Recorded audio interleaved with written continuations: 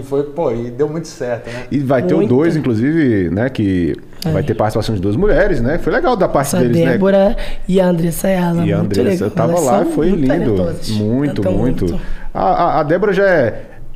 Eu, eu ia falar velha conhecida, mas pra mulher não é bom falar velha conhecida. Uma, Por favor, uma, não faça é, é, isso. Uma, uma conhecida antiga aqui do nosso canal, né? Já gravou um acústico dela, super talentosa. Muito. E vai ser incrível, vai adiantar. Eu tava lá na gravação e posso Você dizer tá que foi incrível. ansiosa pra ver. Foi muito bonito, tava tudo muito bonito, assim, um cenário não tava muito gigantesco para não fugir da essência do churrasquinho, Uhum. mas tava muito bem feito, assim, fantástico, vai ser sucesso. E a participação feminina foi super legal da parte deles, né? Duas, né? Que duas. Legal, cara, que legal. Agora é o que a gente falou, aos poucos as mulheres estão começando a, a criar os passos, as pessoas estão começando É. a lembrar. Espera aí, tem que ter uma presença feminina ali. As pessoas estão começando a se atentar para isso. Isso é muito importante, graças a Deus. E tem um movimento que a gente sente que tá, tá caminhando mais, né? É. Certas coisas a gente vê que tá tendo mais a mulher presente no pagode, né? E o Leandro Learte falou pra mim uma- há uns 4, 5 anos atrás, ele falou, Leandro, ó, pro samba ter mais força, ele tem que ter mais as crianças ali e tal, e mais mulheres, porque a gente sempre teve muito homem, sempre foi um ambiente muito machista, ele falou, né? E eu concordo com ele, né? A gente sente que Sim, tá com tendo uma mudança, assim, né?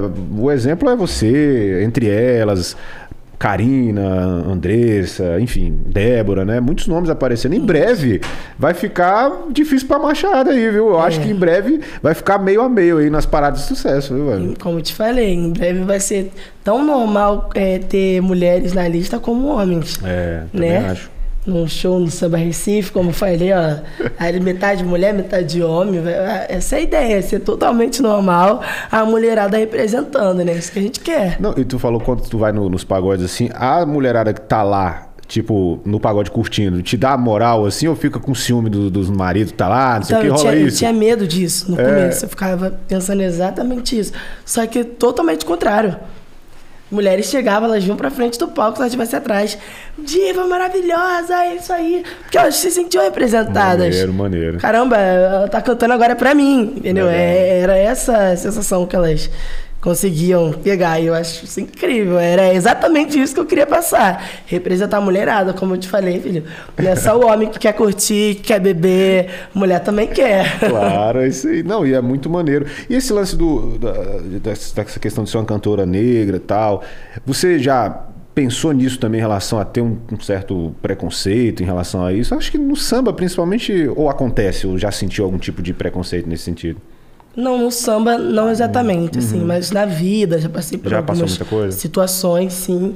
E hoje, que eu, eu sei que eu tenho muito mais confiança, hoje um dia eu já não tive. Uhum. Também porque já passei por eras diferentes. Eras, por exemplo, cabelo. Cabelo é uma coisa que é muito representativa pra gente. E por um tempo eu já tive vergonha do cabelo, então alisava. Uhum. E hoje não, hoje eu mostro, tenho lá meu black. Isso é, é um, é uma parada que é muito representativa pra gente, porque eu recebo mensagens de mães, de meninas, é, pessoas falando, meninas falando, caramba, eu tô me inspirando em você. Aí me manda foto, bot- botando um cabelo igual, falando, caramba, graças a você eu tô perdendo a vergonha, eu também tô cuidando do meu cabelo. Então vai além de só cantar, né? Não é só uma música pra fazer a gente sofrer ou pra fazer a gente sorrir Hum, verdade. vai além de, de muita coisa ali. Então, estou representando meninas, eh, pessoas negras. Isso é peso muito bom. Ainda mais agora que tu é artista, assim, em evidência, assim, tá aparecendo, tem essa função realmente, né? Parece uma coisa pequena, mas não é. Isso acontece muito mesmo, esse lance do cabelo, né? Ver os amiguinhos ali, aí, ao invés de se inspirar em uma figura negra, às vezes fica se inspirando em outra pessoa e quer copiar e fica com vergonha do cabelo. É. Tem muito essa parada. Eu falo porque meu filho tinha isso. Ele deve estar assistindo aí. E aí, ele quando era mais novo, ele, pô, queria alisar o cabelo, alisar o cabelo, e ele tem o cabelo crespo, um black assim. Eu falei, meu irmão, deixa esse cabelo grande, não, que não sei o quê, porque os amiguinhos, tal, na escola, É. tal. E aí chorava. Aí hoje não, hoje ele assumiu. Eu era exatamente o, assim. O, no dread dele lá. E é legal Aí, isso, né, eu- cara? Eu Isso era é exatamente assim. Se estimava que queria alisar o cabelo, tinha essa vergonha. É. E aí depois é, de um tempo agora, já que adulta, recebi mensagem que eu tô inspirando outras pessoas, nossa, é emocionante pra mim. Eu fico, caraca, que legal. É uma responsa, e né? Tô sempre tentando mostrar mais e mais disso, né? Não só da música, para continuar inspirando, né? Vai além da música. São É. muitas outras coisas que a gente que é- são parece pequenas, mas a gente está mudando o dia de alguém, a vida de alguém. Isso é muito importante. Isso é muito, muito pesada essa responsabilidade.